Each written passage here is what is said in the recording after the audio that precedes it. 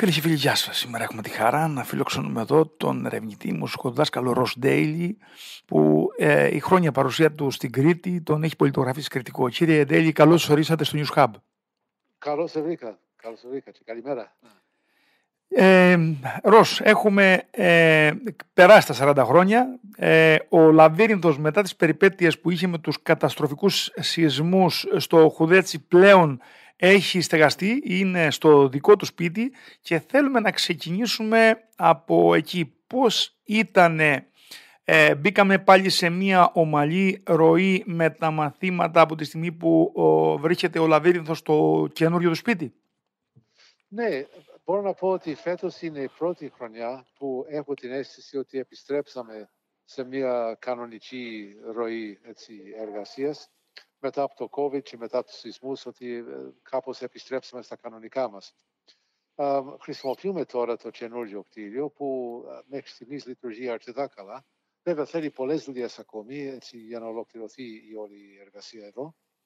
Αλλά προς το παρόν μπορώ να πω ότι προχωρούμε σχετικά καλά και ότι ειδικά οι αίθουσες διδασκαλίας τώρα που κάναμε μια παρέμβαση με πάνω για τον ήχο δουλεύουν πολύ καλά μέχρι στιγμής. Ναι. Ε, ανταποκρίνονται οι υποδομές ε, στις ανάγκες ε, του λαβύρινθου, ναι, έτσι; Ναι, ναι, μπορώ να το πω αυτό, ότι μέχρι στιγμής αυτό γίνεται. Και ότι, ότι, είναι πολλά πράγματα να ολοκληρωθούν ακόμη, αλλά που είναι καθοδόν. Δηλαδή, ένα πέτρινο αμφιθέατρο στην πίσω πλευρά και το στούντιο ηχογράφησης που από το Σεπτέμβριο θα το πιάσουμε αυτό έτσι εντατικά. που βέβαια όλα αυτά είναι συνεργασία και του Δήμου, αλλά και με την αστική μηντριαδοσκοπική εταιρεία Λαβύρινθος που έχουμε καταθέσει μια πρόταση σε ένα ευρωπαϊκό πρόγραμμα για να το χρηματοδοτήσει αυτό. Και αυτά, αυτά γίνονται τώρα. Είναι στη διανέργεια. Ε, ναι. Να ρωτήσω κάτι άλλο τώρα. Ε, ε, στο Λαβύρινθο, στο Χουδέτσι μας έχεις ε, συνηθίσει που είναι ένα μπόλιασμα πολύχρωμο ναι. πολιτισμών από όλα τα μήκη και πλάτη του κόσμου. Ε, ναι από τη Μέση Ανατολή πάντα υπήρχε ε, έντονη παρουσία. Τώρα ναι, που ναι. στη Μέση Ανατολή υπάρχει αυτή η εξέλιξη ε, ναι. με το Ιράν, το Ισραήλ, ο πόλεμος είναι ε, σε πολύ κακή φάση. Οι δάσκαλοι όλοι που έρχονται από εκεί, πώς είναι η αφήξη τους και πόσο δύσκολο είναι να έρθουν στα ραντεβού τους και πώς μπορούν να συνεργαστούν όταν είναι από αντίθετες πλευρές. Δηλαδή το Ιράν και το Ισραήλ πάντα έχει παρουσία πούμε, στο λαβύρινθο. Ναι, ε, έχεις δίκιο σε αυτό. Ε, μέχρι στιγμής έχουμε κάποιες απορριθμίσεις κάποιων πτήσεων, ειδικά από Ιράν, που είναι κάποιες εταιρείες που δεν πηγαίνουν τώρα και πρέπει να αλλάξουμε διαδρομές για κάποιου από του δασκάλους ή μαθητές μας. Αλλά μέχρι στιγμής βρίσκουμε άκρη και δεν έχουμε αναγκαστεί να ακυρώσουμε κάτι.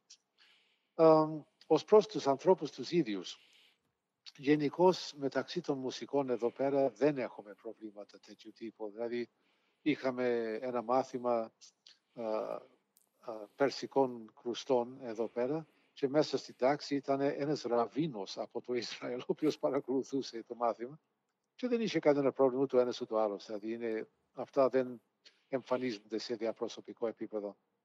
Έχουμε, έχουμε κάποιους μαθητές από το Ισραήλ εδώ πέρα οι οποίοι μας διευκρινίζουν ξεκάθαρα από την αρχή ότι δεν συμφωνούν καθόλου με αυτά που γίνονται στην Γάζα αυτή τη στιγμή και με την γενοκτονία που διαπράττεται. Έχουμε ωστόσο και κάποιους άλλους μαθητές, ειδικά από το Ισραήλ, που λίγο πολύ έτσι, σφυρίζουν λίγο αδιάφορα και δεν, δεν δείχνουν να τους απασχολεί το θέμα. Εμείς προσπαθούμε να έχουμε μια στάση απέναντι σε όλους, δηλαδή ότι όλοι είναι ευπρόσδεκτοι εδώ πέρα. Εγώ ο ίδιος προσωπικά ως καλλιτέχνης, εγώ αρνούμαι να πάω στο, στο Ισραήλ. Και ε, εδώ και χρόνια δεν, δεν πηγαίνω. Και έχω πολύ έντονη διαφωνία με όλα αυτά που γίνεται εκ μέρους του κράτους του Ισραήλ. Αλλά αυτό είναι άλλο θέμα και άλλο θέμα είναι η σχέση μας με τους μαθητές που έρχονται εδώ πέρα. Μάλιστα. Ε, τώρα ε, ξέρω όμως ότι είναι και στα Σκαριά μια πολύ μεγάλη παράσταση με πολλούς συντελεστές ε, ε, με τον Ερωτόκριτο. Θέλω να μας πεις λίγο το χρονικό, πώς ξεκίνησε η ιδέα. Είχαμε δύο μεγάλες παραστάσεις, ε, από ό,τι γνωρίζω, μία στο Ηράκλειο και μία στην Ελβετία, στη Γενέβη και ε, τα σχέδια ε, δείχνουν ότι υπάρχει μια σειρά από άλλων παραστάσεων για να ενημερώσουν το κοινό. Ναι, πέρυσι ή μάλλον προπέρυσι δεχτήκαμε μια πρόσκληση από το, έναν οργανισμό στη Γενέβη που λέγεται Ατελιέ τα Εθνομουσικολογία, δηλαδή εργαστήριο, εργαστήρι εθνομουσικολογίας, που θέλανε, επειδή κάνανε μια σειρά από εκδηλώσεις που έχουν να κάνουν με βαρδικές παραδόσεις ή επική πίεση και τέτοια πράγματα, ζητήσαν από εμάς να κάνουμε μια παράσταση μουσική με τον Ερωτόκριτο. Οπότε ήταν μια πολύ ωραία και σοβαρή πρόκληση για μας που τη δεχτήκαμε με μεγάλη ευχαρίστηση και συζητώντας με την πρώην αντιδημάρχο, αντιδημάρχο πολιτισμού του Ηρακλείου, την κυρία Αριστεία Πλεύρη, εξέφρασε και αυτή την επιθυμία να φιλοξενήσει την ίδια παράσταση στο Ηράκλειο. Οπότε προέκυψε μια συνεργασία του Δήμου Ηρακλείου μαζί με το Εργαστήριο Εθνομουσικολογίας της Γενέβης και πραγματοποίησαμε, όπως είπες, την παράσταση αυτή στους δύο τόπους. Σε αυτή την παράσταση εμπλέκονται 13 συντελεστές, αφηγητές και τραγουδιστές και μουσικοί από διάφορες χώρες. Δηλαδή έχουμε συντελεστές εννοείται από εδώ, αλλά έχουμε και έναν συντελεστή από την Τουρκία, έναν από την Ελβετία, ένα από την Ισπανία, δύο από την Ισπανία, συγγνώμη, μία από το Ιράν και, και έτσι είναι ένα πολιτισμική ομάδα είναι αυτή. Και έτσι έχουμε μελοποίηση κομμάτια από τον ερωτόκριτο. Και η σύνθεση είναι τόσο, και εγώ έχω κάποια κομμάτια που έχω γράψει, και η Κέρι Θωμά, και η Ευγενία Δαμοβολίτη Τόλη, και ο Στέλιος Πετράκης, και ο Μίτσος Σταυρακάκης. Ε, όλοι έχουμε γράψει μουσικά κομμάτια. Αυτό, αυτό να το ξεκαθαρίσουμε, ε, Ρος, ναι. δηλαδή πλέον όσοι έρθουν στην παράσταση θα δουν νέες συνθέσεις, δεν θα δουν το κλασικό, ακριβώς, ας πούμε, το ναι. μοτίβο, το ερωτόκροτο, το μουσικό. Ναι, ακριβώς αυτό. Δηλαδή έχουμε γράψει νέες συνθέσεις. Μόνο στο τέλος του έργου παίζουμε τη κλασική μελωδία του ερωτόκροτου, βέβαια πρέπει, να, πρέπει οπωσδήποτε να παιχτεί.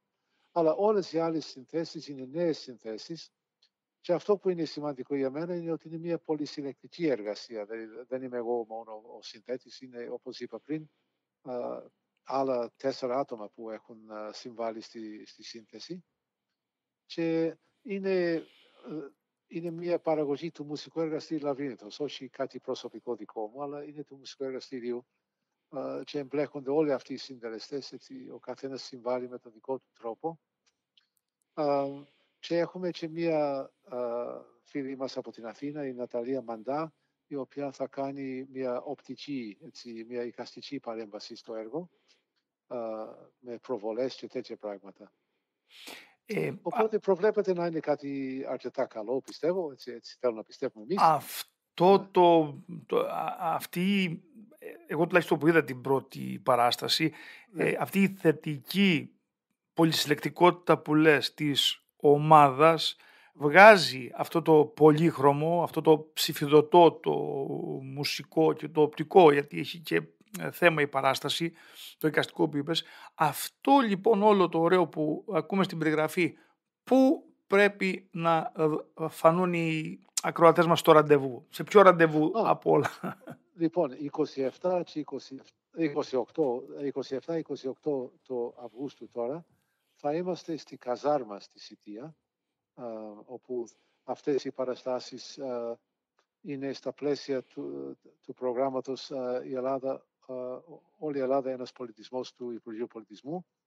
Και μετά έχουμε μία επιπλέον παράσταση εδώ πέρα στο Χουδέτσι, που θα είναι στις 30 του Αυγούστου. Μάλιστα.